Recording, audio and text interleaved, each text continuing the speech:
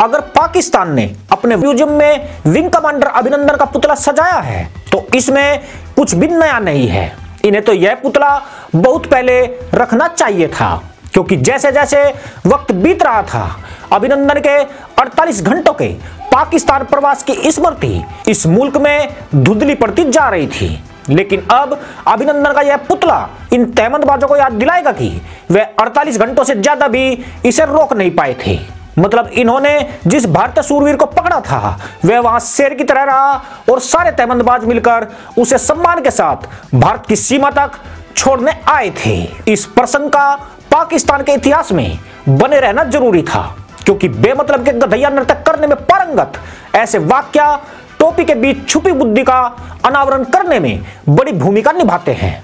तैमंद गदेले हो चुके हैं, उनका आनंद चीन के अलावा और कोई नहीं ले रहा है। इसलिए वार म्यूज़ियम में पाकिस्तान द्वारा बनाया गया अभिनंदन का स्टैचू इन्हें कम से कम यह ज़रूर याद दिलाएगा कि इनकी औकात क्या है। वैसे भारतीय वायुसेना के विंग कमांडर का पुतला पाकिस्तान के वार म्यूज़ियम के एक कांच के बॉक्स में रखने की बजाय इस्लामाबाद के चौराहे पर खड़ा करना चाहिए था या फिर इस पुतले को आईएसपीआर के प्रांगण में स्थापित करना था।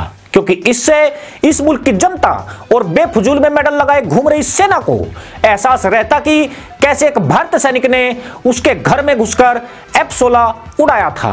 और परमाणु बम का अलापने वाले अलोपी उसे दो दिन भी पाकिस्तान में कैद नहीं रख पाए थे। गौरतलब है कि फरवरी में पुलवामा वाक्य के बाद भारतीय वायुसेना ने पाकिस्तान के बालाकोट में घुसकर एयर स्ट्राइक को अंजाम दिया था। और जैसे मोहम्मद के बहुत से जबूरों को हुरों की खोज में भेज दिया था। इसके बाद पाकिस्तान ने हवाई करतब दिखाए जिसका भारतीय सेना ने करारा जवाब दिया था। हवाई भिड़ंत के दौरान विंग कमांडर अभिनंदन का विमान मिग 21 दुर्घटनाग्रस्त हो गया था और वो पाकिस्तान के कब्जे वाले इलाके में चले गए थे। इसके बाद पाकिस्तान सेना ने उनको हिरासत में ले लिया था। हालाँकि भारत ने जब अपनी मिसाइलों का मुँह पाकिस्तान की तरफ़ किया तो इसकी फटकर गले में आ गई। फिर दबाव में आकर पाकिस्तान को झुकना पड़ा और अभिनंदन को छोड़ना पड़ा था। अभिनंदन को पाकिस्तान के अधिकारी सम्मान के साथ वाघा बॉर्डर तक विदाई करने आए थे।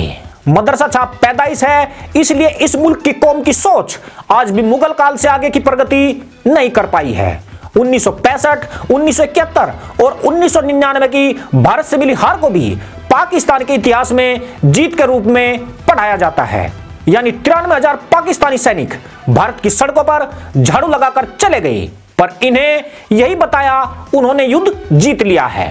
वो फोर्स ने इन्हें कारगिल छोड़ने को मजबूर कर दिया पर इन्होंने फिर भी उसे अपनी जीत बताया।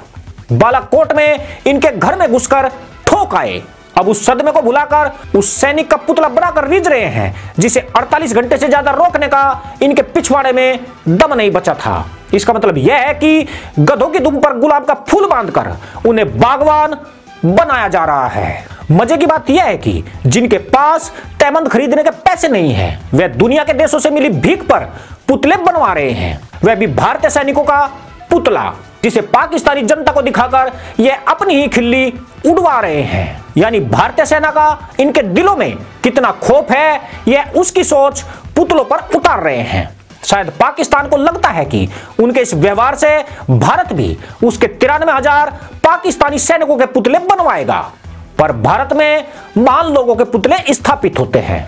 बुजदिल और भारत की सड़क और टॉयलेट साफ़ करने वाले पाकिस्तानी सैनिकों के तो बिल्कुल नहीं। पाकिस्तान अभिनंदन को अपने म्यूज़ियम में सजाकर रोज उसकी सफ़ाई और साज सज्जा का ध्यान रखेगा। यह भी बड़ी बात है, क्योंकि पाकिस्तान के दिल में अभिनंदन का डर सदैव कायम रहेगा। वैसे उस माँ के लिए यह बेहद गर्व की बात होगी, जिसने इस सूरवीर को जन्म दिया है। क्योंकि उसकी मूर्त देखकर पाकिस्तान अपने भीतर भी ऐसी ही बहादुरी पैदा करने की कोशिश करेगा। पर मदरसा छाप लोगों में बहादुरी की ललक नहीं होती है। इन्हें तो हुरों की गिनती से ही फुर्सत नहीं है। आशा है दोस्तों वीडियो पसंद आया होगा, आपसे शीघ्र भेंट होगी। तब तक के लिए अनुमति दीजिए। जय जवान, जय किसान, जय हिंद बद्ध मातरम।